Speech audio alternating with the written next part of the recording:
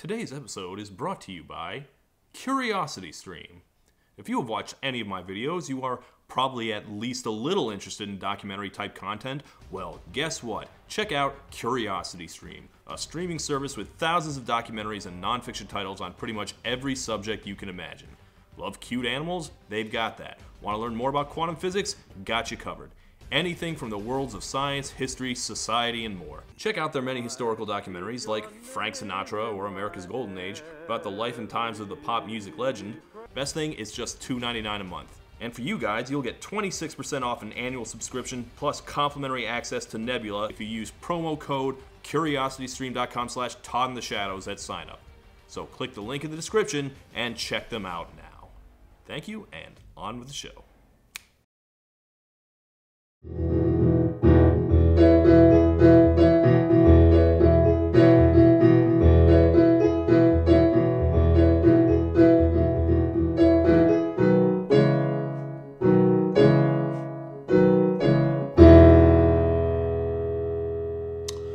Welcome to One Hit Wonderland, where we take a look at bands and artists known for only one song. Where again, we have to ask, what is a hit exactly? I know what boys like. In the early 80s, as punk became new wave, the underground clubs were all dancing to a snotty band from Ohio called the Waitresses. They knew what boys liked, they knew what guys wanted. What they wanted was the waitresses. Boys like me. What girls liked and wanted remained a mystery, at least until Good Charlotte came along. Girls don't like boys, girls like cards and money. Hmm. Yes, thank you, Good Charlotte. So that covers both ends of the entire spectrum of human desire. But are the waitresses a one hit wonder at all? That's iffy to say. I mean, they are according to several books of one hit wonders I have where I get all my ideas. And the song was their only song to chart. It just didn't chart very high. That's probably not enough to call it a hit, except that it was such a fucking earworm that it's just lingered around for a pretty decent amount of time. I know what boys like. I know what guys want. I see them looking. Hmm, yes, thank you, Glee. But that's not the only complicating factor. The waitresses are a very weird case of one hit wonderdom because they're a one hit wonder whose one hit has changed, kind of. In fact, it should be well after Thanksgiving by the time I upload this, so you should be hearing the waitresses quite a bit right around now.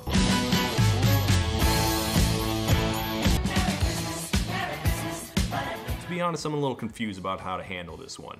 This is the rare one hit wonder where people actually seem to disagree what their one hit actually is. Or, as band leader Chris Butler put it, they were a one hit wonder with two half hits. Okay, well, officially, this is a review of the song that actually charted, with its perfectly of the moment video and its snarky, sassy attitude. But I promise you, we will also talk about the holiday tune, which has seemed to dwarf their actual hit in hindsight. So, how did the waitresses so thoroughly know what boys liked, yet not be liked enough to be the next killer band of the 80s? Let's find out. Sucker. I know what boys like. Okay, so it's hard to tell where the next underground music scene is going to develop out of. Often it's in the big cities like New York, sometimes they sprout out of little college towns like Chapel Hill. So it's not entirely crazy that some record executives thought the next big focal point of music was going to be Akron, Ohio. The big underground sensation from Akron was Devo. This is not Devo. This is one of a small number of local bands signed in Devo's wake, Tin Huey.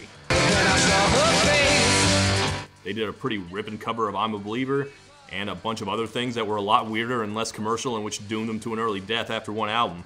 But for a while, they were still potentially the next big thing. And during that time, their guitarist, Chris Butler, which I think is this guy over here maybe, he came up with an idea for a song. I know what boys like. I know what guys want. The only problem was that it was written for a woman. So a college friend of his, Patty Donahue, volunteered to sing it, and during shows, the guys would say, Hey, we're no longer Tin Huey for this one song, we're now the Waitresses. And they'd put on shirts that say the Waitresses, and Patty would come up and sing the couple waitress songs they had. And when Tin Huey went kaput, Chris moved to New York and tried shopping around his waitress demos, and when he finally got a bite, he was like, Yeah, the waitresses, we're totally a real band. And then he bought a bus ticket to New York for Patty and slapped together the rest of the band from scratch, including Billy Ficca, the drummer from the legendary CBGB's band Television. Wow. So by 1981, their single I Know What Boys Like was already being played in the punk clubs, and they were out on tour trying to make it into a real hit. And then their record label asked them to record something for a Christmas album, which, as Butler will tell you, does not make any sense. They were on ZE Records, which was an experimental indie label full of avant garde art funk weirdos. Boy, I can't wait to hear a holly jolly Christmas carol from the band Suicide. But it's generally a good idea to do what your boss asks you to, so he was like, uh, yeah, I'll throw something together. In 1981, ZE Records releases A Christmas Record, one of the stranger Christmas albums you will ever hear. I actually liked it quite a lot. Here's the one by Suicide. Hello.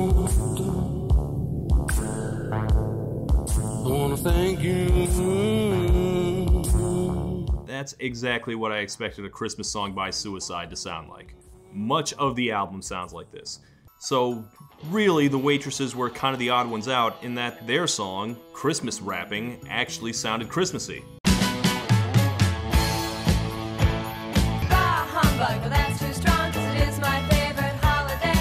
Adulthood has kind of sucked most of the fun out of Christmas for me.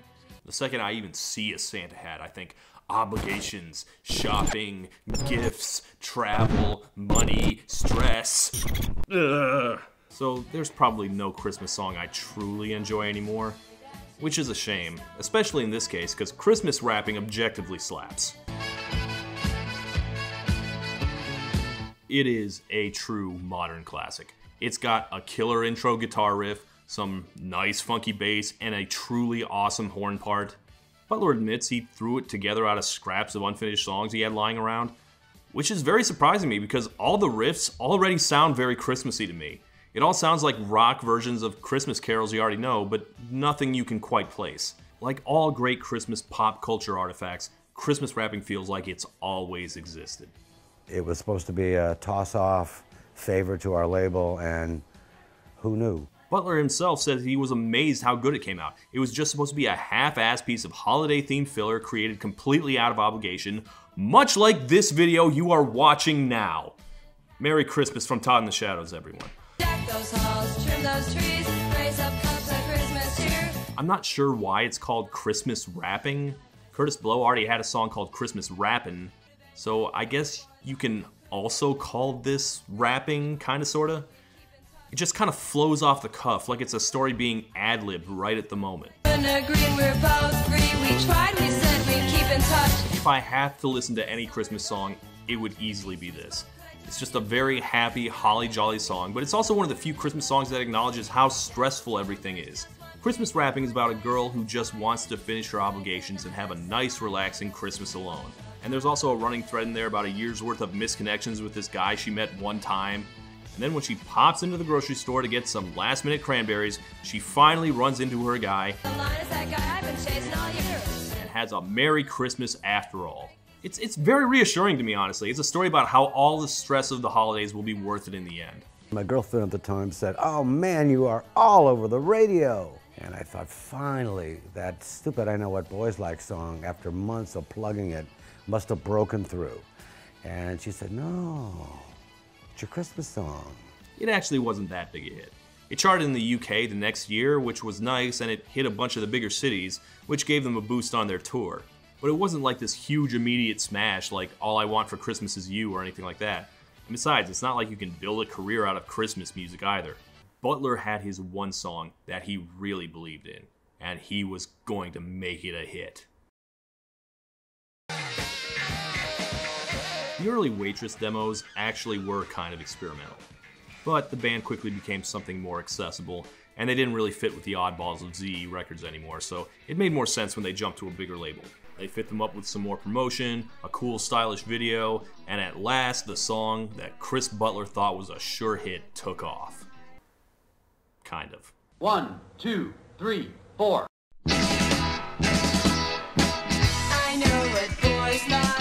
I know what boys like. Is, on first listen, barely a song. It sounds like they tried intentionally to do their first take as half assedly as possible, and then intentionally didn't do a second take because that would also be too much effort. It sounds like a joke at first. But a lot of the greatest songs in rock history are like that. The laziness kind of draws you in.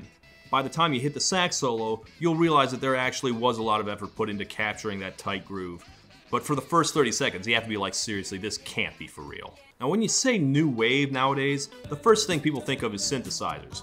But in the early 80s, it just meant anything that wasn't abrasive or sloppy enough to be punk, but clearly wasn't that slick corporate rock either. One of the first bands to get that label was Blondie, who started as a punk band at the beginning, but also quickly went in a lot of fun new directions. The Waitresses got compared to Blondie a lot, but in some ways I feel like they were somehow kind of more punk than Blondie. Debbie Harry exuded coolness from her pores, but it was a very glamorous kind of cool. She didn't wake up like this. I know what boys like. But Patty just sounds so perfectly effortless, just bored of all your bullshit above everything. She's not really a vocalist exactly, but she's a hell of a presence. So yeah, I love how she sings these lyrics. The lyrics themselves, that's complicated. I see them looking. Like, we've got a lot of songs these days about being hot and sexy and attractive. That's fine, but there's tons of songs like that. I got my cat moves. If that's all I Know What Boys Like was about, that'd be one thing, but it goes a lot further. They want to touch me. I never let them. It's mostly about toying with boys and their stupid emotions. I laugh right at them. Like, I don't want to use the word tease. That's a, you know, it's a very ugly, outdated concept. I make them want me. I like to tease them. But there's not really another word for it. And the fact that this is sung by a woman but written by a dude, Zippers and buttons. Fun to frustrate them. uh, yeah, this is kind of a minefield. True, you're special. I might let you. I don't even know if the word cock tease makes any sense anymore. Actually, why don't we do a quick primer on this? Things are very different now, but for boomers and Gen Xers, there was an intense double standard for girls. Good girls did not have sex, and if you had sex a single time, you'd get a bad reputation. But if you didn't have sex, you'd get called a tease. You led these guys on and then let them down, you heartless bitch. I think we're done with all of that now. Since all you kids are sharing nude photos of each other on your Insta Snaps or whatever the fuck, grumble, grumble, grumble. At the very least, it's a lot better now, and that's because of a big push over the decades and slut shaming reclaim that word, making it into something positive. It's a lot harder to make tease positive, though. Zippers and buttons. Fun to frustrate them. Tease, a girl who tempts guys and then leaves them hanging just to be cruel. It's hard to put a positive spin on that because, one, it's not a real thing. If a girl doesn't let you hit it, it probably wasn't because they were trying to hurt you personally. And two, if they were, that'd be a pretty callous thing to do. So, naturally, this song isn't even trying to be positive, it's actively malevolent. If you really wanted to, I think you could make the case that this is a misogynist song. It's from the point of view of a female character as written by a guy, and she's a sadistic torturer of men. On the other hand, you could also say that it's very empowering to women, because she's a sadistic torturer of men. I mean, come on, right? For guys, there is the proud tradition of the heartbreaker song. I kiss them and I love them, cause to me they're all the same. You know, I'm a ladies' man. I love them and leave them. It's a, you know, that's a very anti-hero kind of song. So girls need their own version. And because it's the early 80s, a girl can only be a heartbreaker by not having sex. So the song's like, I string them along for fun because it amuses me. They get so angry, like pouty children. Deny the candy. Again, this was definitely written by a man. Having a bunch of horny, lovesick dudes following you around does not seem like very much fun to me. It sounds like it'd get tedious very quickly. Okay, you know what boys like, but why do you like this? What are you getting out of it? I know what boys like. Patty just sells it. Butler was always quick to say that she's not my puppet or my mouthpiece, she's her own person. And Patty was like, yeah, it's my performance, it's my experiences I bring to it. And I just totally buy it from her. It's a total power fantasy of a song. And you listen to this and you absolutely think that she holds all the cards. She's hot, you want her, and she doesn't want a thing from you. It is completely badass. She can squash any of these guys like bugs. Sorry I teased you. I won't let you. This time I mean, I really want to. You can trust me. Sucker. Well, that's just mean. I'm not saying I love this song. I'm not even sure I like this song. It's catchy in kind of the wrong ways. It's a little annoying.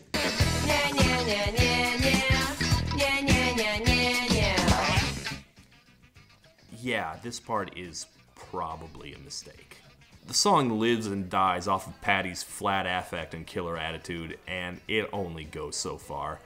I feel safe in saying that this song overplays its one trick. I'm not sure this is something I'd ever willingly choose to listen to. But whether or not I like this song, I respect this song.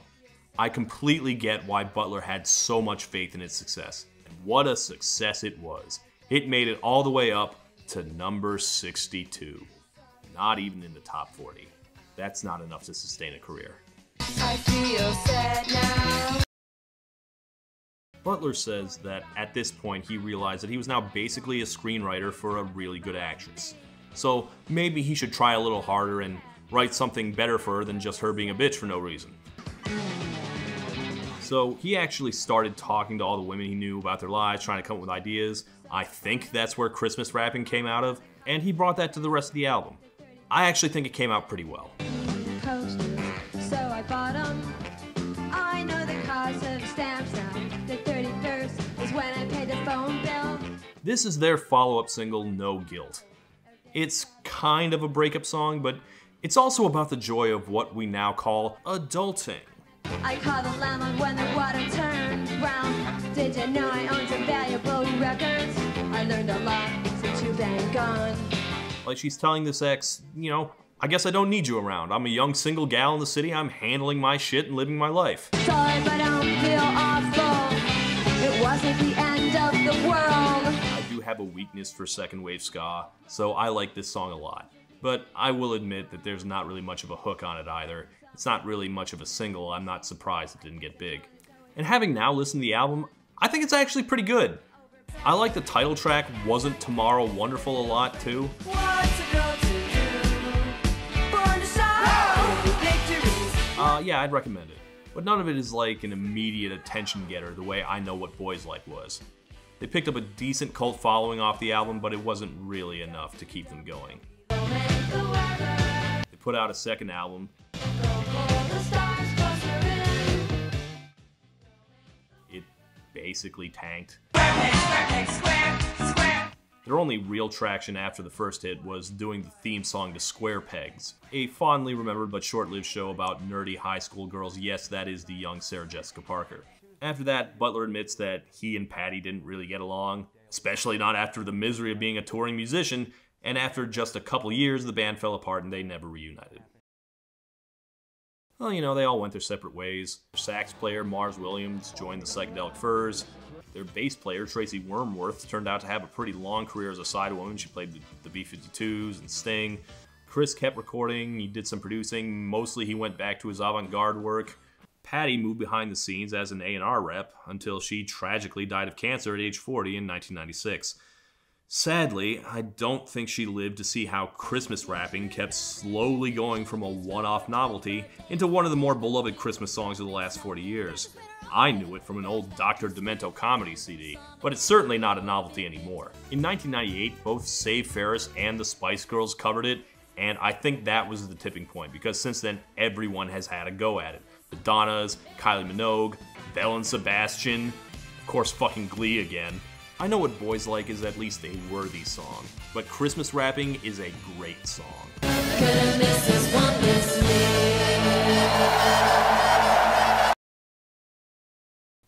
Yes! Like. The waitresses were unique, I guess. They were doing something no one else was doing. They were a hip, new wave band for the ordinary gal. They wrote one really great holiday song and one unforgettably confident new wave single, and their back catalog is better than you'd expect.